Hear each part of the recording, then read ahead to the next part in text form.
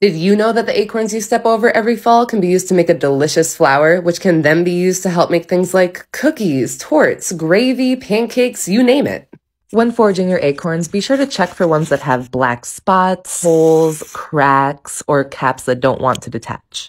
What you're looking for here is evidence of weevils or other damage that could cause a bad nut. Once you get the acorns home, I do an additional float test. Any ones that do not pass and float to the surface get discarded.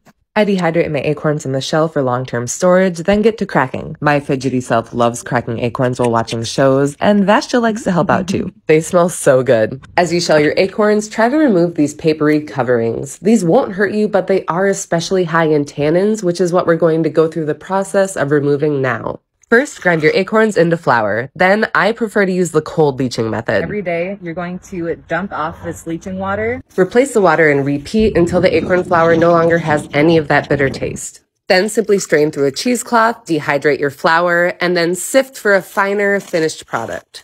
Happy hunting and never eat anything you weren't sure of.